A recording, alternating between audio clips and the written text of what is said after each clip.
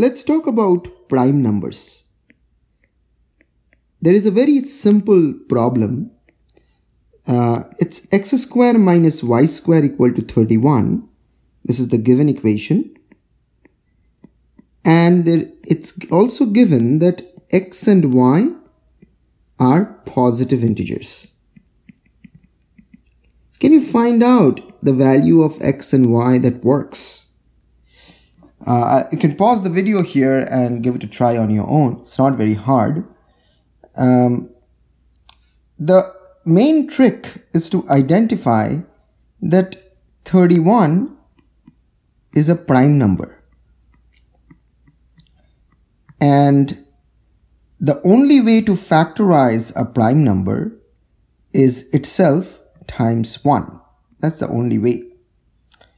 Now if you take x square minus y square, you can factorize that as x plus y times x minus y.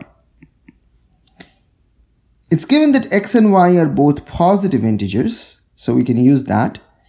Uh, x plus y must be the larger one, so we, we will set x plus y equals 31 and x minus y must be the smaller one, so x minus y equals 1. Now you can solve both of these equations simultaneously. Uh, if you add those equations, you'll get 2x equals 32. So x is 16. This gives us y is 15. This is the final answer. It uses a very simple idea from um, the notion of prime numbers and divisibility. But it also has a beautiful pictorial connotation.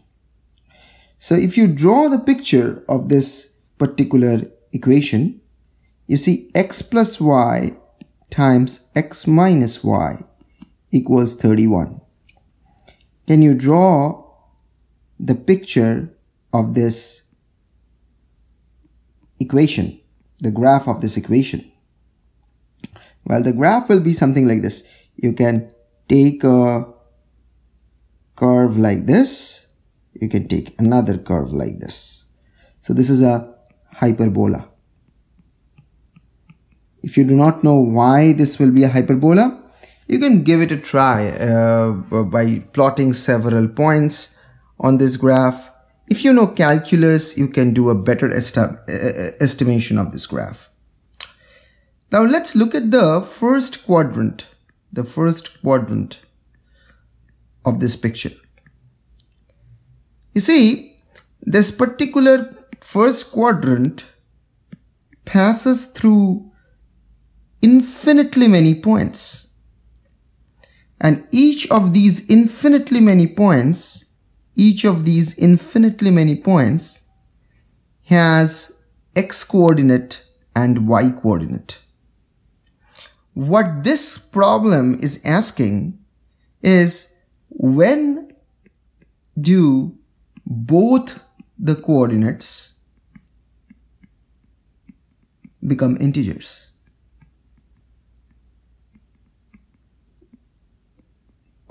When is when are both the coordinates x and y among these million, infinitely many points when are both the coordinates integers?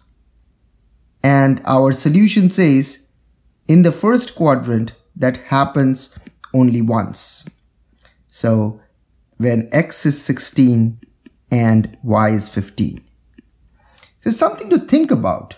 Now, by the power of mathematics, we know, and this is a very simple problem, mind you, we know that among these infinitely many points on this uh, first quadrant, on this red, red uh, portion of the curve, there are infinitely many points and only one of them has this beautiful property that both the coordinates are integers. They are sometimes known as lattices, lattice points, uh, but they have much higher significance in, um, in advanced number theory and algebraic geometry as well.